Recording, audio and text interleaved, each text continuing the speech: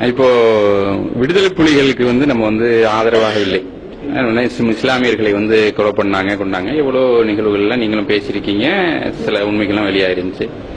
இருந்தாலும் கூட இந்த சேனல் போர் வெளியானதற்கு பிறகு சேனல் போர் வெளியிட்ட பிறகு பொதுமக்களை கொன்று குவித்த ரா- இலங்கை ராணுவத்தை அல்லது அதற்காக உங்கள் அமைப்பில் இருந்து ஏதாவது கண்டனமோ அல்லது அதற்கான அறிக்கையோ ஏதாவது நீங்கள் செய்தீர்களா? தலைவருக்கும் தலைவர் கேட்கிற கேள்வியை சொன்ன கேட்டு.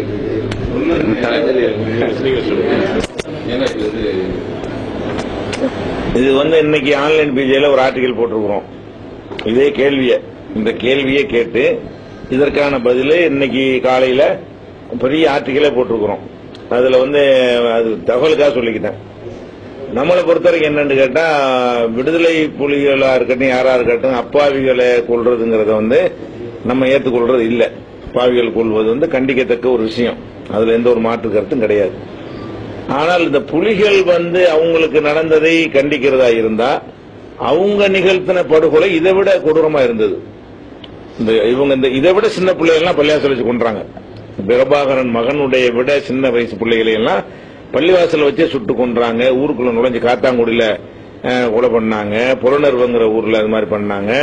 யாழ்ப்பாணத்திலிருந்து சிறுவர் சிறுவர்கள்னு பார்க்காம எல்லாத்தையும் தான் டுவெண்ட்டி ஃபோர் ஹவர்ஸ் டைம் கொடுத்து வெளியேற்றினாங்க ரெண்டாயிரம் ரூபாய் பணத்தை எடுத்துக்கிட்டு இருபத்தி நாலு மணி நேரத்தில் எல்லாரும் வெளியேறணும். அப்ப அந்த மக்கள்லாம் வெளியேறி வந்து அகதிகளாக இலங்கையில ஒரு நாட்டில் உள்ளவன் அந்த நாட்டில் அகதியா இருக்கிறது அது ஒண்ணுதான். அகதினா வேற நாட்டுக்கு போயிருவான். சொந்த நாட்டில் அகதியாக இருக்க முடியுமான்னா இலங்கையில இருந்தாங்க. வடக்கிலிருந்து விரட்டப்பட்டவர்கள்லாம் முஸ்லிம்கள் பகுதியான கிழக்கு மாகாணத்தில் வந்து கடற்கரையோரத்தில் டென்ட் அடிச்சுக்கிட்டு ஒரு நாள் ரெண்டு நாள் இல்ல பல வருடங்கள் இருபது இருபத்தைந்து ஆண்டுகளாக அவங்க அகதியாகவே இருந்து கொண்டு எந்த ஒரு சொந்த வீடு இல்லாம ஒரு சொத்து சுகம் இல்லாம அரசாங்கம் கொடுக்கக்கூடிய அற்பமான அந்த உதவி வைத்துக் கொண்டு கிழிந்து சட்டையை போட்டு நாங்கெல்லாம் போய் பார்த்து கண்ணீர் விட்டோம். அந்த புத்தளத்துக்கு அகதி முகாம்லாம் நாங்களே போய் பார்த்தோம். இந்த மக்களை எல்லாம் பார்த்தோம். அதே மாதிரி காத்தாங்குடி பள்ளிவாசல்ல இவர்கள் நடத்திய துப்பாக்கி சுடு அந்த குண்டுகள் பாய்ந்த அடையாளங்கள் எல்லாம் இன்னைக்கும் வச்சிருக்கிறாங்க. அதையெல்லாம் பார்த்து வீடியோ பண்ணி வந்திருக்கிறோம். அப்ப இவங்க செஞ்ச கொடூரம் வந்து இதெல்லாம் மிஞ்சின கொடூரம் இவங்க செஞ்சாங்க. இவங்களுக்காக வந்து குரல் கொடுத்தல் என்பது நியாயம் கிடையாது. அது பொதுவாக கண்டிக்கலாமே தவிர இதை விட மோசமாக செய்யும் போதும் யாரும் கண்டிக்கவே இல்லை. முஸ்லீம்களை சுட்டுக் கொள்ளும்போது இந்த தமிழ் பேசுறவங்க எல்லாம் எங்க போயிருந்தாங்க? அதே மாதிரி வந்து அங்க வந்து மத்திய மாகாணத்துல வந்து சிங்களவர்கள் அதிகமா இருக்கிறாங்க. கிழக்கு மாகாணத்துல முஸ்லீம்கள் அதிகமா இருக்கிறாங்க. வடக்கு மாகாணத்துல வந்து இந்து தமிழர்கள் வந்து அதிகமா இருக்கிறாங்க. அப்ப இவர் தனியா எங்களுக்கு சுயராஜ்யம் வேணும்னு கேட்கையில அவர் வடக்கு மட்டும் கேட்டிருந்தாருன்னா அவர் வந்து ஜெயிச்சிருக்க முடியும். அவர் என்ன செய்யறாருன்னா முஸ்லீம்களுடைய பகுதியும் சேர்த்துக்கிட்டு வாழ போறாங்களாம். கிழக்கு வந்து ஒரு ஒரு ஒரு பார்ட்டியாக சேர்க்கக்கூடாது. முத்தரப்பு பேச்சுவார்த்தையை மறுத்தாங்க அவங்க. முஸ்லீம்கள் செயல் என்ன செய்யணும் முத்தரப்பு பேச்சுவார்த்தை. அரசாங்கம் முஸ்லீம் கிழக்கு மாகாணத்தை சேர்ந்த முஸ்லீம் பிரதிநிதிகள் வடக்கு மாகாணத்தை சேர்ந்த புலிகளோட பேச்சுவார்த்தை நடத்தி எங்க பிரச்சனை தீர்க்கணுங்கிறோம் அப்ப கிழக்கு மாகாணத்தை முஸ்லீம் மாகாணமாகவும் வடக்கு மாகாணத்தை இந்து தமிழர் முஸ்லீம் தமிழர் இந்து தமிழர் சிங்களவர். அப்படி மூணாகத்தான் பிரிக்கிறதா தான் பிரிக்கணும். சுயாட்சி நான் தனிநாடு கேட்கறது இல்ல அந்த பேச்சு நடக்கும் பொழுதெல்லாம் இவங்க கோரிக்கை எதனால் ஏற்றுக்கொள்ளப்படலைன்னா முஸ்லீமை எங்களை கீழே கொண்டு வருவோம்.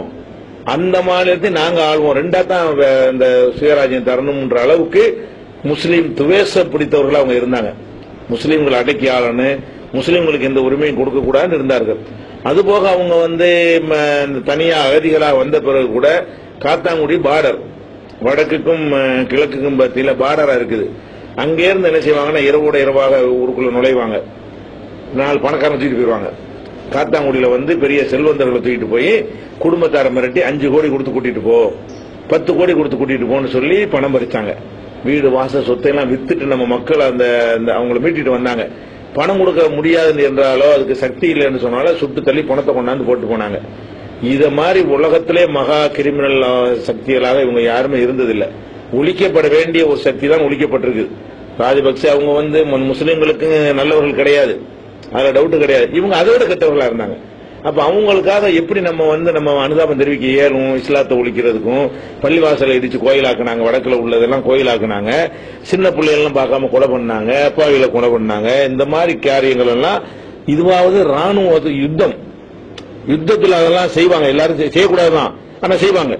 யுத்த காலத்துல வந்து சின்னது பெருசுன்னு பார்க்காம கண்ணா பின்னாடி தான் செய்வாங்க. அதெல்லாம் செய்வாங்க.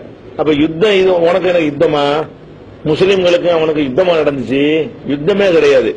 வழிய வந்து நம்மளை அவனோட சேர்ந்து கலந்துருக்க கூடாதுன்னு விரட்டி விட்டாங்க. தனியா வந்து ஒரு இடத்துல இருந்து அங்கேயே வந்து சுட்டு தள்ளு சுபு தொழுதுட்டு சுட்டு போனாங்க. பள்ளிவாசலுக்குள்ள சுற்று பெரிய அந்த பெரிய கபருஸ்தான் போட்டு வச்சிருக்காங்க. அறுபது பேர் நாற்பது பேர் நினைக்கிறேன். அவ்வளவு பேர் ஒரே ஒரே நாள்ல சுட்டு தள்ளிட்டு போனாங்க. அதுல காயமடைந்து பிழைத்த ரெண்டு சகோதரனா நாங்க பார்த்துட்டு வந்தோம். அந்த மாதிரிலாம் அது இது வந்து எந்த ஒரு மனசாட்சி உள்ள முஸ்லீமும் புலிகளுக்கு என்ன நடந்தாலும் அது கவலைப்படவே மாட்டான். விடுதலை புலிகளை எந்த மாதிரி அவன் அழித்திருந்தாலும் ஒரு முஸ்லீம் வந்து அது கவலையப்பட தேவையில்லை. அவன் உள்ளூர சந்தோஷம் தான் படுவான். அந்த அடிப்படையில் நாங்க கண்டிக்கவும் மாட்டோம். அது வந்து இதுக்கு எதிராக அறிக்கை கொடுக்கவும் மாட்டோம். அந்த- அதனால தான் நாங்கள் மௌனமாக இருக்கிறோம் தெளிவாக அதில் விளக்கியும் இருக்கிறோம்.